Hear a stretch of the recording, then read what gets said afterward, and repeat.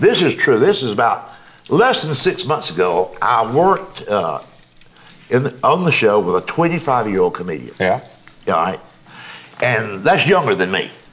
Are you kidding me? Yeah. Now, younger than me, but still, there's a grown man. He's 25. 25. A grown man. It's not Yeah. like a baby or something.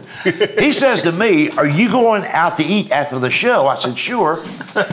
he said, Can I go with you? I said, Sure. Big mistake. I went to a TA truck stop. I love truck stops late at night. Mm-hmm. But keep in mind now, to understand this story and why I was embarrassed, we were at a truck stop.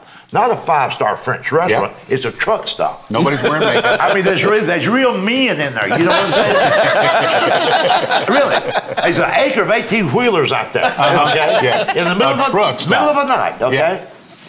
we go in, we sit down. Waitress comes over, big woman. You know, that's kind of waitress I like, big one. You know, Yeah. a lot of pounds, not a lot of teeth, but a lot of pounds. Uh-huh. What I'm? Mu- mustard everywhere, just mustard everywhere, you know. anyway, all, this young guy, all he wanted was a salad. Nothing wrong with it. But he asked this truck stop waitress, did she know whether or not any of those salad ingredients had any pesticides? Oh, boy.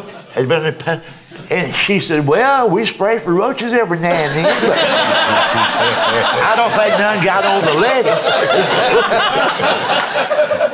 Wait, now this gets worse. This gets worse. Now listen, keep in mind now that she's talking to a man. then she said, What kind of dressing you want? He said, Raspberry vinaigrette. she looked at me. She, she said, You know what he's talking about? I said, no, no, no. Now, I won't go on about this, but now, a few minutes later, she goes, Remember, this is it's just food. Puts the food in front of him. He looks at it, he goes, Oops. Now, what grown man says, oops? he,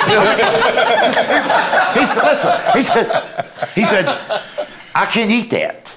I didn't know it come with cheese on it. He said, I'm lactose intolerant. I can't eat that. yep. It's got cheese on it. Yep. And she said, honey, that's not lactose cheese, that's cheddar cheese.